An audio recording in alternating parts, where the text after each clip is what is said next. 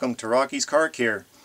Uh, what I have before you today is uh, an air cleaner housing off an early 80s uh, Oldsmobile with a two barrel uh, Rochester dual jet carburetor sitting below that I'll show you in a minute. And what this video is going to be about is um, for you to check and change if necessary the air filter element or cartridge. Call it what you will. It's hiding underneath this top uh, cover here on the air cleaner housing. Okay, we're going to make it simple. We're going to try to detail a few little things that the advanced guy might not be interested in, but if you're just learning these things, I'll, uh, I'll help you out here. So the first thing you have to do is make sure your engine's off and it's not overly hot. You don't want to be burning yourself or have rotating parts, so make sure that the, the car's got emergency brake, you're not on a steep hill, you got to be on level ground. Um, nothing's running, right? Keys out of the ignition, and we can proceed now. Um, if you're not too sure about how these things work, always wear safety glasses also. Uh, sometimes things jump around when you least expect it. You don't want an eye injury. Okay, if you want to wear gloves, you can use the uh, automotive gloves if you like. They're uh, latex or whatever. The blue ones, I guess they are. So I'll leave that up to you, but for me, uh, rugged hands, I guess, from years of uh, use and abuse, you might say, working on automotive and industrial things. So here we go. Uh, to get this particular kind off, the top the top lid of this air cleaner housing, uh, there's usually what they what is called a wing nut on top of here. So it's basically if it's not over tightened or rusted shut, you can usually um, just use your your thumb and your your forefinger and grab it whatever way, maybe even a couple of fingers and your thumb, and then you just have to loosen it. You go this direction anti-clockwise like an analog clock would go. If you're too much into digital clocks you might not know the difference between clockwise and counterclockwise or anti-clockwise as the case may be. So once you get it loose, if you have it lubricated also, if it's all rusty and stuff, you're going to have to fight it. But I always put a little bit of lube on there, whether it's oil or anti-seize compound. It makes things easier, so you see how easy that's coming off. It's got some lube on it. So there's for you beginners that have never seen one of these in an older car, early 80s, um, kind of thing with a carburetor sitting underneath it. There's what is known as a wing nut. And you can see why they, uh, they call it a wing nut there too. It's got two little wings on it, right? And there's a threaded hole inside that uh, you tighten the air cleaner lid down onto the rest of the assembly and this secures the thing on top of the carburetor. So there's your wing nut, lesson number one. Alright, so now we'll proceed to take the air cleaner lid off. Um, this one's going to come off easy because I've already had it on and off a few times just to prepare for the video. Occasionally with the rubber seal on the air cleaner filter element, um, they get stuck sometimes. So sometimes when you pull this up, the air cleaner cartridge or filter might come with it, but you can either take the whole thing up and then flip this upside down if it's stuck on there and it just comes right off. There's the air cleaner lid. And before I put this to the side, I'll just mention that the inside diameter of the air, air filter, it's a round thing, like a wheel. There's also a, what they call a spigot diameter. It's uh, it's bumped up a little here and the inside diameter of the air filter cartridge has to fit that within reason. It can be slightly big but it can't be smaller. It won't seat down onto the sealing surface here. So I'll just park the lid out of the way for now and we'll show you this uh, air filter element. Okay, I put two pieces of masking tape on here. Um, I'll show you the actual element and I'll sit it back down in there and get a tape measure to show you how to measure these things. As well as on, on most of them, they'll have a part number or something stamped in it where it's made, the manufacturer possibly, and a part number or code that that particular manufacturer uses, or the store where you bought it uses a certain code. Okay, so I'll take that out now and show you. Um, I'll show you the clean bit first and how to check for a dirty one, but you notice on the inside here it's, it's a fairly whitish color. Okay, that's a fairly clean part of it, right? That's actually looking good, but as I spin this, even on the inside diameter, starts getting dirty, okay? Depends how the air enters the air cleaner and whether you've got excessive, um, you know, uh, oil burning or whatever. It's called blow-by. When the rings are, you have leaky um, valve stems or, or valve stem guides, uh, you get uh, all kinds of stuff going on in there and the, the engine pulls it through the valve cover with a PCV system and it breathes into here and what this looks like to me is it's not really dirt it's more of an oily substance so it looks like this engine had a lot of um, miles on it and the rings are a bit worn probably and get this what they call blow-by gases and, and, it picks up a little bit of oil when it uh, goes through the engine system and, and gets drawn out to be reburned with air fuel mixture. But I'll rotate it on the outside now and you can see there's some, some white parts. What you'll normally see in an engine in good condition will be uh, mostly dirt. It'll be a grayish, not quite black usually.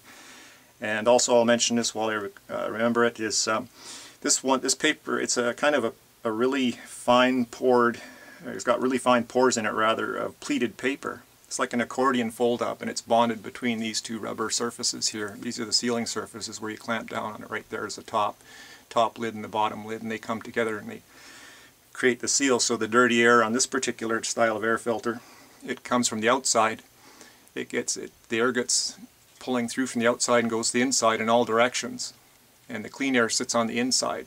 The inside of the filter shouldn't have any dirt. It might look dirty, but all, all the uh, dust and uh, debris will be trapped on the outside. So this feeds from the outside in, and there's your carburetor in here. It's got the choke plate closed. So it's only going to be, once you get the lid on here, the only thing that's going to draw from the outside, the outside, like I say, gets filtered, and it's all clean air in here at this point. and then it'll it'll go into the carburetor and then it'll do its thing and give the air fuel mixture for the engine to burn. Okay, so uh, there's some things to watch. Uh, I can tell you what I've experienced over the years. Sometimes they change part numbers or they consolidate, you might say. I found where um, the most important thing I'll start with here is uh, it has to what they call spigot or fit. There's there's a ledge on the lower air cleaner portion here and it has the inside diameter of this filter has to fit around there. It can be a little bit loose but it can't be too tight otherwise it won't sit down flat onto the sealing surface. So um, what I'll show you here, see it's, it's sitting down there on that what they call a spigot or the diameter where the two of them uh, meet and it's sitting down flat. Okay, so there's two ways you could purchase one of these to get the right one. Now, one thing I'd warn you is if somebody's done some modifications on your vehicle or transplanted another part from another make or, or model, it might not be the actual filter that's for that car in particularly saying because um, things do change. Um, so the best thing to do is measure your filter or if, if you don't have an extra dirty one to uh, show the guy, the parts guy, or take in and do, you can measure it or do it in the parking lot. You can take your filter out of your car. It's, it's quite simple. Make sure your ignition key's out, your park brakes are locked. You can actually take your old filter in, but never run the engine without a filter because any dirt going into your engine is going to ruin it. So you can either take the old filter in to show the parts guy or compare it to one, uh, or you can...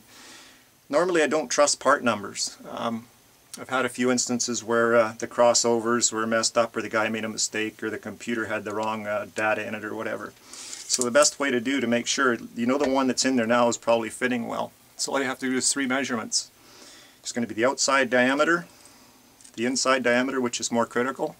The outside can be a little bit big or a little bit smaller. I've noticed in some manufacturers they go a little bit bigger or smaller on here, but it's the inside diameter that's most important to make sure it fits the air cleaner housing where it, it bumps up. Okay, so you want the outside diameter measurement. This one looks about 11, six, uh, 11 and 7 sixteenths. Could be bigger or smaller. Like I say, it's not ultra critical on the outside diameter. But you have to get this inside diameter no smaller, but it can be slightly bigger. Okay, so we're looking at about 9 and 3 quarter inches on this one for the inside diameter. Then if we flip it sideways, I got a piece of masking tape wrapped around here so it would help highlight the video. If we just left it all like dirty and black and everything here, it would be hard to see. So We'll go across just in front of the masking tape and you can see where the masking tape ends and get the measurement there. So you just tape measure it and it looks like about 3 and 3 eighths inches for the overall height.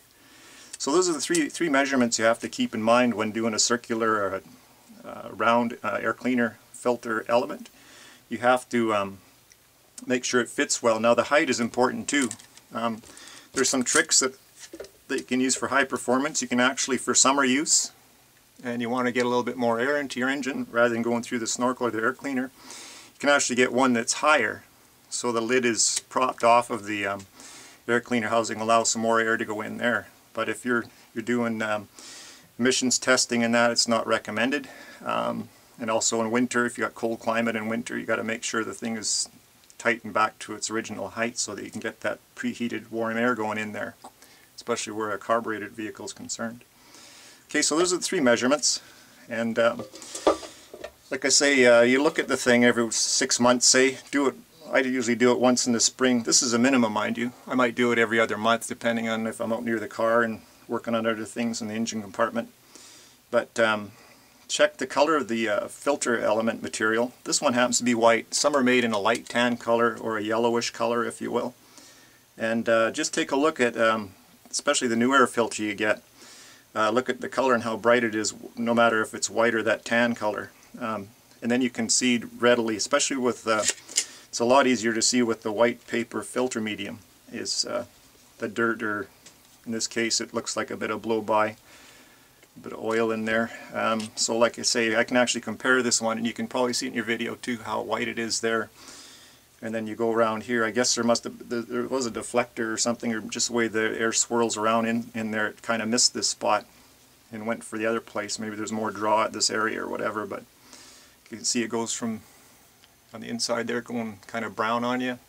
Like I say, you'll probably see, if it gets really dirty, you'll probably see a dusty color, a dark gray color.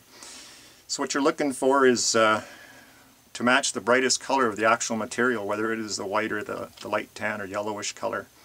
So it's easy to see the dirt on these. This one is expired. It needs a new one if I ever run that car again. Um, also, I'll mention it too. The carburetor on this one, it's a Rochester dual jet two barrel carburetor and uh, this was actually the air filter that went with that carburetor. It's off a of Pontiac. So the air cleaner housing was different and you can see how much different they are. Their, their heights are a bit different. Okay, The smaller diameter one on the top of your screen there, this pretty, pretty big there, but anyways, the height of it's um, taller than the other one and uh, this one is it'll actually fit right inside the other one so you see if you went and got one by part number and they made a mistake, you might end up with bringing one of these home without actually looking at the size or anything. You go to put that in there, well, there's, you know, you can see there's no way that's going to fit, right? Self-explanatory. So you have to take that back to the store where you bought it and get uh, the right one.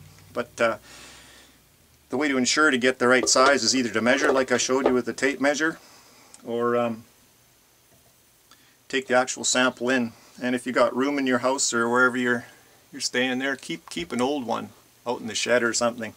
And then you won't have to take the one that you're running in your car out in there for a parts comparison. Just make sure you tag it, like put some tape, masking tape or something, right on it with a felt pen what it was out of what car. Because sometimes if you have more than one car or you're, you're not really sure, you might get, get one that you might have had another um, air cleaner on a different car, say. And uh, So mark what year the car was, the model, on a piece of tape if you want to keep an extra one that is. So that's that part of it. Um, I'll show you the carburetor while we're at it just to show you what it fits on. There it is there. There's the Rochester dual jet carburetor. Okay, this one's off a of Pontiac, early 80s Pontiac. Okay, very similar. They look the same. And also another thing I noticed between the two, uh, the air cleaner housings were different. And also this is the, um, let me park this to the side. I had to exchange this out of that. This this this bent uh, threaded stud, much like the one I'm holding freehand here. It had a different offset because of the different air cleaner. So that's another thing you can do if you uh, you buy a carburetor and you go ahead and you put it on a different vehicle, chances are you might have to, if it has an offset stud, if it's straight, there's usually not a problem except for length, but if, if it's something that's offset like this, and or the length, you might have to um, interchange them or use your old one. That's, that's what I've done here. So this is an Oldsmobile stud air cleaner stud going into a Pontiac, early 80s Pontiac uh, two-barrel Rochester uh, dual jet carburetor. So there's the differences, things to look out for, a little extra in the video for you. So like I say, when you're what you're confronted with when you're doing your own car, if you have one of these, same thing with the four barrel, it'll have a bigger opening in here and a different air cleaner style. They're basically the same if they're the round style. Okay, so this is what you'll be looking at in your car. Okay, uh, you want to clean this all out.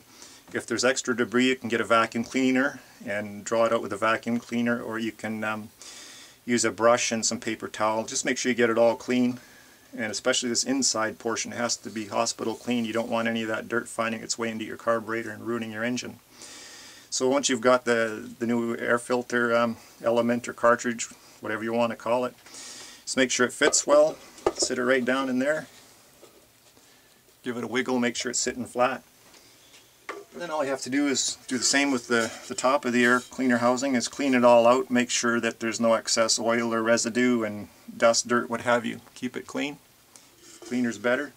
This one's rusty. Probably needs to be uh, wire brushed and maybe put some rust paint on there one day. So anyway, that's all I have to do is sit this right back on to the stud just like so. And we get our little fancy wing nut here, and sometimes they lose a wing nut, so they'll just use a washer and an ordinary um, hexagonal nut, a six-sided nut, and use a wrench. But if you still got the wing nut, that's all you need. Okay. And screw it down, and once you get it snug, make sure it's down good and snug because you want to make sure you compress the air filter on the top and the bottom seal area to squish it so that no, no dirt gets uh, in past your filter.